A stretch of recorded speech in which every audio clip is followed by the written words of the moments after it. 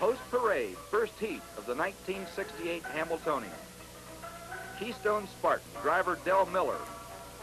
Carolyn Sue, driven by Jerry Coleman. Dart Hanover, Sanders Russell up. Snow Speed, Ralph Baldwin up. Master Yankee with Jim Lorentz. Coleman, driver Jerry Graham. Keystone Starlet, driver Joe O'Brien. Larengo Hanover, Bill Haughton up. And Nevele Pride, handled by Stanley Dancer.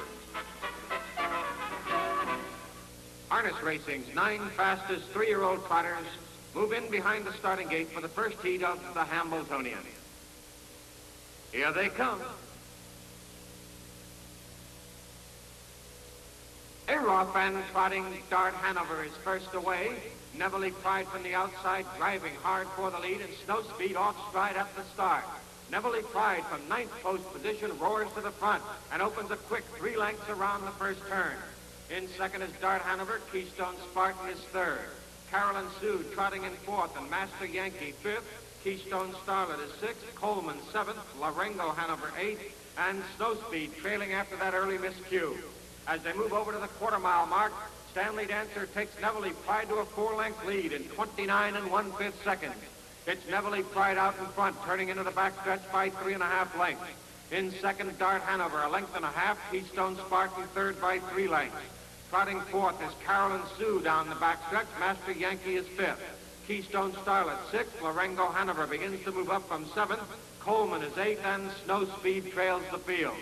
That's Nevele Pride, two and a half lengths in front, moving down the mid backstretch. In second, Dart Hanover, a length and a half. Keystone Spartan is third. Racing up fourth on the outside at the half-mile mark is Larengo Hanover, and Carolyn Sue is now fifth. Master Yankee sixth. Keystone Starlet is seventh. Around the far turn, Nevele Pride, two lengths in front. Dart Hanover is strong second by a length and three quarters. Keystone Spartan is third, a length, and Larengo Hanover is now fourth. In fifth is Carolyn Sue. Coleman sixth on the outside moving up. But it's Nevele Pride by three now as they move over to the three-quarter mile mark. Nevele Pride passed the three quarters in 131 and four fifths. And he turns for home four lengths in front.